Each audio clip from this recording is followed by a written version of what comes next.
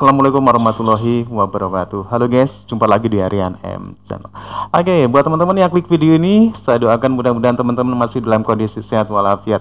Baik, di kesempatan kali ini saya akan coba react sebuah video yang lumayan menarik Bikin penasaran buat kita.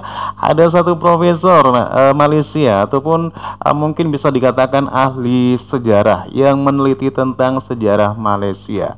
Dalam hal ini uh, beliau mengatakan bahwasanya uh, uh, tempo dulu ya uh, menurut hikayat ya kerajaan Malaka itu merupakan kerajaan besar dan banyak banget tempat-tempat jajahannya. Apakah demikian ceritanya? Cerita ini menurut profesor itu diambil dari satu hikayat. Kita akan mencoba uh, cari dulu apa itu pengertian hikayat ya teman-teman ya. Oke teman-teman bisa baca di sini pengertian hikayat ya. Hikayat adalah salah satu bentuk karya sastra, karya Gloria sastra, terutama dalam bahasa Melayu yang berisikan tentang kisah, cerita dan dongeng. Uh, umumnya uh, umumnya mengisahkan tentang kehidupan maupun kepahlawanan seseorang lengkap dengan keanehan, kesaktian serta uh, tokoh musisat. Oke, ini pengertian dari hikayat ya teman-teman ya. Ada banyak dan uh, pengertiannya bisa ini cerita, bisa ini dongeng. Uh, tadi satu lagi uh, bisa ini uh, kisah ya teman-teman ya.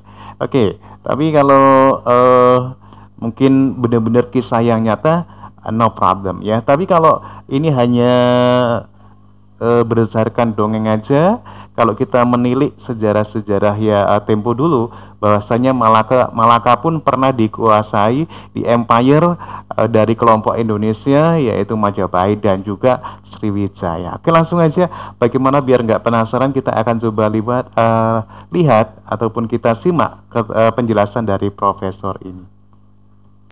Ada banyak perkapalan sebagai uh, bermacam jenis. Uh, sangat penting uh, disebutkan di, hampir di semua teks ya. Uh, pembandaran. Pembangunan pembandaran daripada batu. Mm-mm. Itu sangat penting sekarang karena lazimnya sekarang kita pikir bahwa orang Melayu uh, ini ya mm-hmm. sentiasa orang kampung dan cuma okay. dengan kedatangan kedatangan zaman modern ya muncul idea pembandaran Yeah. Macam Kuala Lumpur itu memang uh, contemporary punya style of life, padahal tidak. Mm. Padahal tidak karena misalnya kalau kita bincang pasal mm, apa uh, pasal uh, kemakmuran negara dalam kurun um, ke-13 hikayat nah, Raja ini menceritakan ini ya, teman-teman Maka ya. negeri yang kedua ini Samudra dan Pasir ya terlampau ramai, da, ramai dan makmur segala rakyat dalam negeri dan beberapa daripada gajah dan kuda jenuh, jenuhlah makanannya dan beberapa daripada segala rezeki yang lain tiada terhabisan banyaknya pada zaman itu satu lagi uh, dalam uh, sejarah Melayu. Maka negeri Melaka pun terlampau besarlah dan segala segala dagang dan uh, pun berkampung di sini dan yeah. jajahan Melaka itu banyak. Maka masyhurlah kebesaran negeri Melaka daripada Oke, okay. memang kita mengakui ya dalam sejarah memang ditulis ya bahwasanya uh, Malaka ataupun Semenanjung itu memang uh, tempo dulu itu ya memang uh, pusat perdagangan yang lumayan yang ramai ya.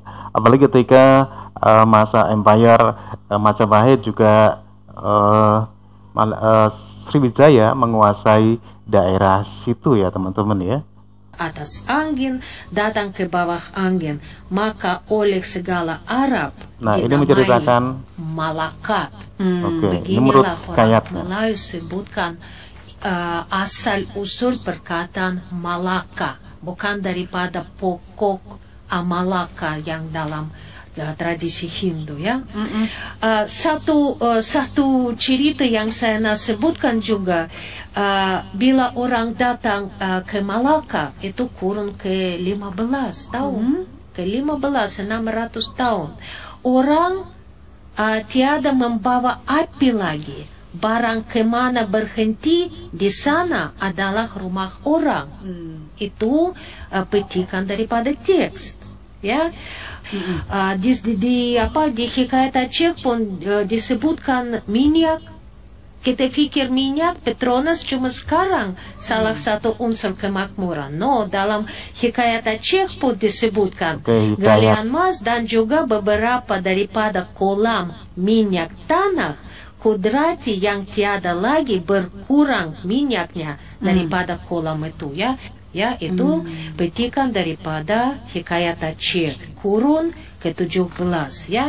So uh, dan uh, dalam uh, teks-teks mulai lama daripada kurun ke-18 ke-19 memang apa uh, terdapat banyak um, cerita tentang um, rumah wakaf yang penuh dengan ramai para ulama yang datang menziarah uh, negara Riau, Johor dan sebagainya. So uh, apa um, um, keadaan uh, akhlak, adat yang halus, um, apa um, penghukuman yang adil itu semua merupakan unsur uh, kemakmuran negara.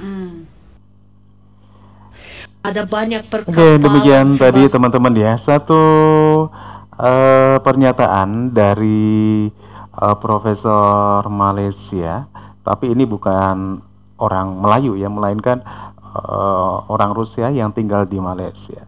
Bahwasanya beliau mengatakan beberapa eh, sejarah tentang eh, kerajaan Malaka di mana dari penjelasannya bisa kita simak tadi ya bahwasanya Malaka itu punya banyak jajahan ya sehingga rakyatnya makmur ya. Hal ini tentunya eh, masih eh, dipertanyakan ya bagaimana eh, kalau kita melihat eh, dengan eh, sejarah yang sudah tertulis tertulis bahwasanya Malaka pun sempat menjadi eh, bagian dari empire dari kelompok-kelompok di Indonesia. Ada Sriwijaya, ada eh, Majapahit ya. Mungkin cerita ini ada benarnya, juga mungkin ada yang masih kita pertanyakan teman-teman ya. Gimana menurut teman-teman? Silakan teman-teman komen dan jangan lupa tekan tombol like and subscribe.